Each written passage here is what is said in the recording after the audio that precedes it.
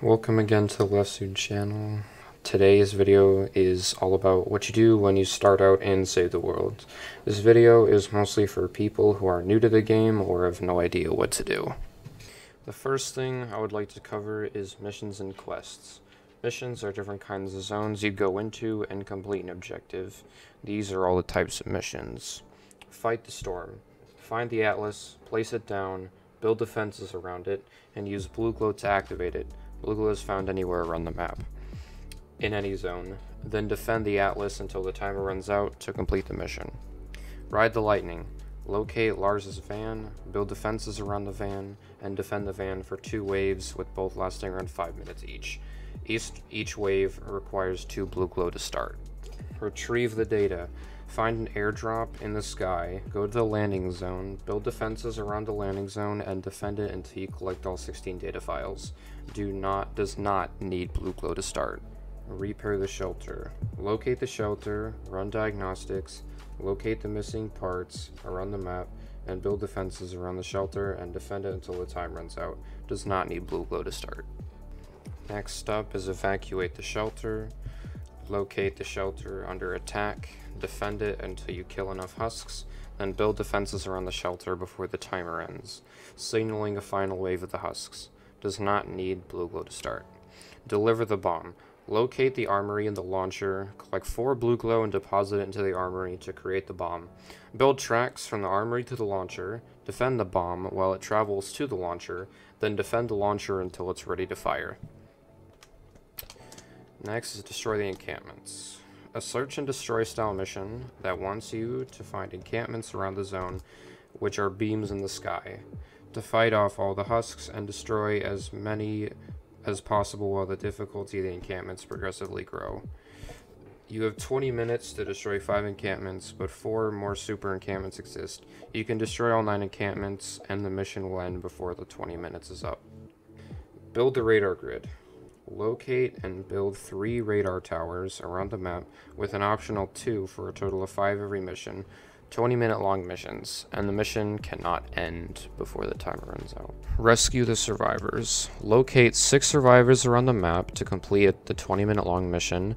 There is a bonus 9 survivors to save and will earn you better rewards at the end of the mission. Surviving all 15 survivors does not end the game early. Eliminate and collect. A survival style mission where you must eliminate a large number of husks and collect their data samples within a 10 minutes time span. Killing more husks than the required amount will give you better rewards at the end. Resupply. Farm resources in any zone while collecting supply boxes and a 10 minute timer to complete the mission. Refuel the home base. Fortify and defend siphons for a total of 3 waves per siphon. One wave is equivalent to 1 tank of blue glow and you need 6 tanks of blue glow to complete the mission before the timer ends. Collecting extra tanks will grant you even better rewards at the end of the mission. Now for the missions that can only be completed that can only be completed by completing your Storm Shield Defense quest line or slash quest line. Storm Shield defenses. Fortify and defend your Storm Shields and amplifiers in, inside of your home bases. These missions will expand your home bases to a maximum of 10 completed defenses per zone, 6 from questline and 4 extras. Once you complete all 10 defenses, you are able to do a mission called Endurance. Endurances are 30 wave missions that attack your storm shield and amplifiers, while each wave gets harder and harder. These missions require a minimum of 2 hours to complete, as they are the hardest missions the game mode has to offer. Some of the waves even have extra challenges, such as tornadoes, meteors, lava pockets, anomaly rifts, and more. Completing the endurances will grant you a special banner that you can use to flex on your material leeching teammates. Next is launch the rocket. Completing your quest line will allow you to unlock this mission, tasking you to fortify the rocket and defend it for three waves. Each wave requires three blue glow to start. Once the rocket is launched, you will be able to enter the next zone, Stonewood to Plankerton, Plankerton to Canny, and Canny Valley to Twine Peaks. Under your daily quest tab in your quest menu, there are quests that once completed, you will earn 50 to 100 V-Bucks for each quest. Complete missions, rescue survivors, eliminate husks, etc. Mission alerts. Mission alerts are mission rewards that once you complete the mission for the first time, you will earn those rewards. But you may only earn the mission alert rewards once every mission. Daily missions switch normal rewards given upon every completion. And this right here would be the mission alert, where it says like the little clock and then rewards above these. And now on to profile leveling. Completing missions will give you XP, leveling up your profile and giving you very helpful rewards every time you level up. Activating XP boosts will allow you to level up faster. And the max level is 310, but you can go above that and it will still give you extra rewards. Next up is research. Research is where the game collects research points for you over time, either online or offline. It doesn't matter if you're on or off. While completing missions and leveling up enough times, it increases the rate of points collected. Doing research to upgrade your fort status increases your power level significantly. So, which just means upgrading these. The max level for each is 600, and once the bar fills to 10, and then it goes back to zero and it'll give you a very significant power level boost. Upgrades. Leveling up will every so often grant you upgrade points you can use to get better gadgets, storage, and damage. All gadgets are Adrenaline Rush, restores life to you and teammates. Airstrike, um, drops bombs in a chosen drop zone. Banner, heals player built structures, and acts as a respawn in case you die. Hover turret is just a stationary hover turret. Proximity mine. I think you know what this does. Slow field. Makes husks load in a small range. Supply drop. Drops the player helpful goods. And teleporter is just two teleporting pads for you and projectiles. Along with gadgets, Tools can be upgraded as well. Backpack size, which just increases the number of items you can hold at once. Build and repair speed increases build and repair speed. Building increases player built structures health. Pickaxe damage increases harvesting tool damage. And storm shield storage, which increases storage space. Note, all upgrades require you to be a certain account level. So just going back here, you need to be a certain level like this in order to do research, even if you have the points. Next up is Survivors. Survivors range from common to legendary rarities. They're used to heavily increase power level overall, and if you want to learn more, I have a video on this topic, and you'll see on the top of your screen right about now. Next up is Heroes. There are four classes of heroes. There is Ninja, which have abilities like Shuriken, Smoke Bomb, Dragon Slash, Kunai Storm, etc. And then there's Soldiers. Soldiers will have Lefty and Righty, Shockwave, Frag Grenade, War Cry, uh, Going Commando, which is a minigun, and whatever. Next is an Outlander. Outlanders have things like Seismic Smash, which they punch the ground and it does a little shock wave that hurts husks. Shock Tower is just a tower that shocks enemies. Phase Shift is where you phase forward a couple tiles. And after that is Soldier. No, sorry. Constructor. Constructors have things like Rosie, Decoy, Plasma Pulse, Bull Rush, and stuff like that. And Collecting all types of heroes is a very good idea. All heroes have certain bonuses that they give when equipped into your hero loadout. Hero loadouts consist of a commander and five other heroes in the support team, along with a team perk. Providing varieties of boosts, ranging them from ability damage to magazine size increases including having two gadgets equipped to, which is at the bottom here, like Airstrike and Adrenaline Rush that I have. And multiple loadouts can be created at once. Another good use for heroes are expeditions. While a significant of players don't know that expeditions exist, uh, they can be started at any time, while better rarity and higher power level heroes will significantly increase the chances of the expeditions to succeed. You may also check the durations left on the expeditions in this page right here, and uh, they will reset frequently. And you can cancel them at any time. Starting expeditions use collected research points, which I showed a little bit ago. And now for schematics. Schematics come in rarities from common to legendary, while mythic rarities, mythic rarity weapons will be explained in a near future upload on my channel, which I'm probably going to upload in like a week or something like that, maybe. And schematics can be collected through vouchers and ventures, completing certain event quests, buying them from the item shop, using gold, which can be collected from mini reward llamas, completing missions, completing quests, and leveling up adventures. ventures. Schematics are used to craft weapons in the main campaign outside of ventures. Leveling, leveling up your schematics make your weapons stronger. You must you must use forge items to craft weapons, in which the materials needed are shown in the crafting recipe. Schematics will also have perks that provide a, a, variety of bonuses and elements.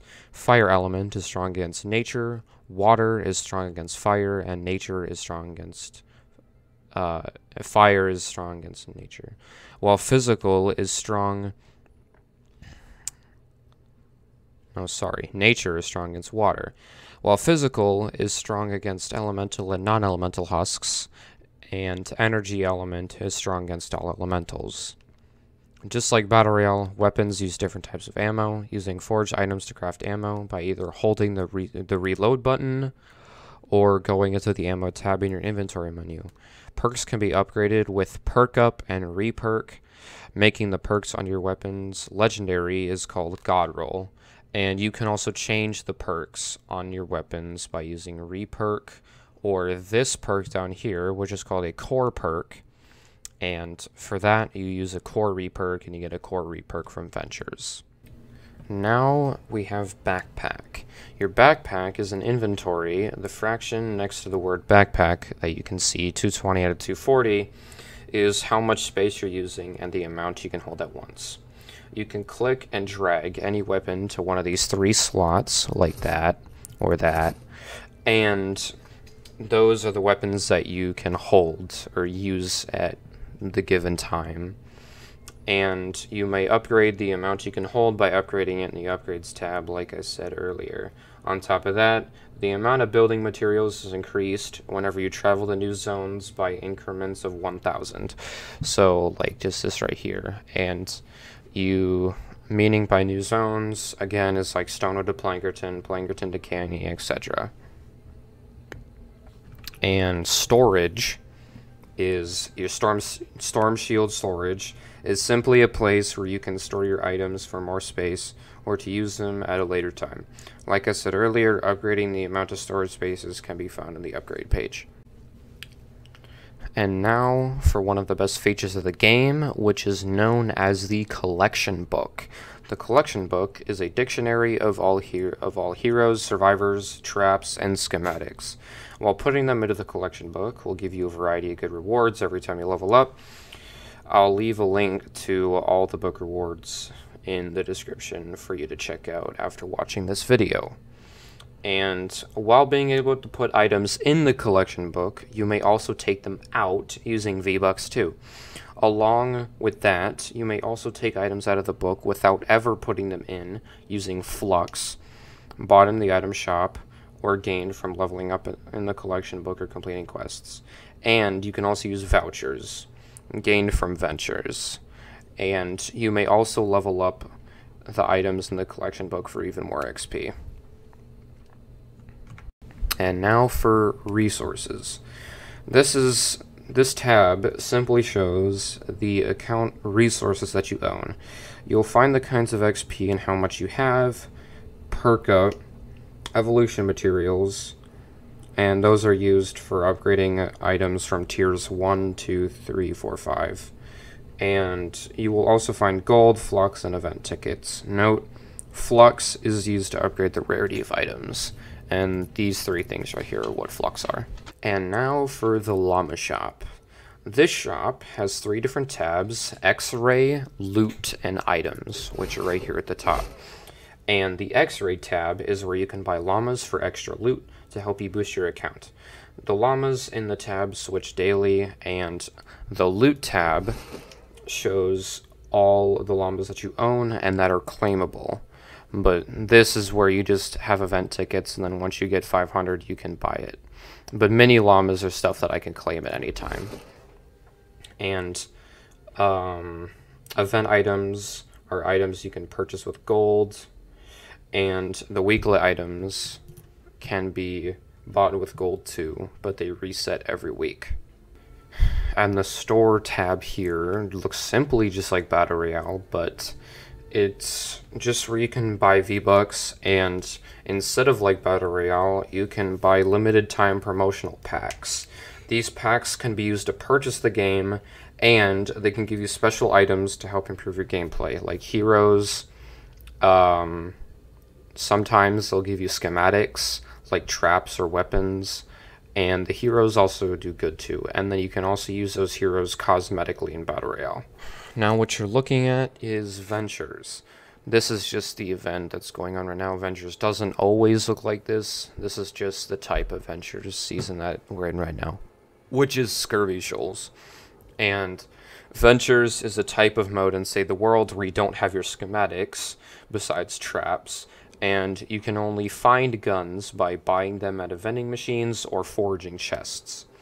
Leveling up in Ventures gives you superchargers, vouchers, and other useful items. You can see on the top right here, this is a weapon voucher, and this is just gold.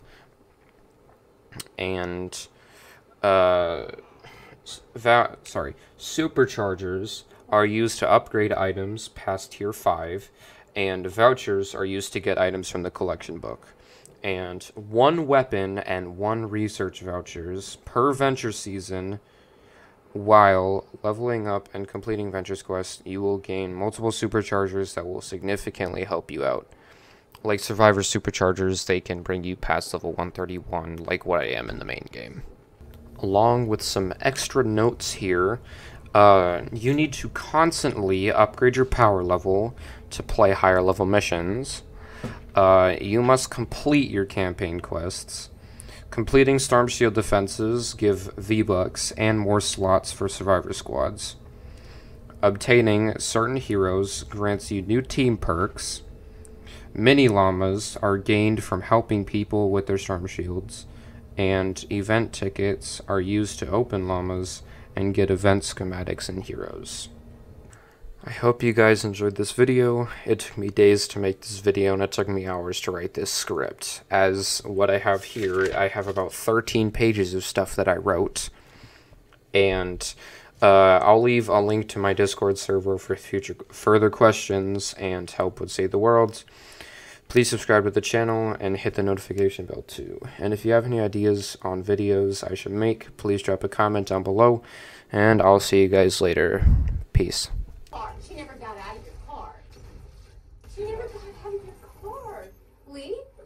Not saying that you did anything. I'm trying to find her. I didn't say you I did don't know anything. where she is. Well, we can prove that you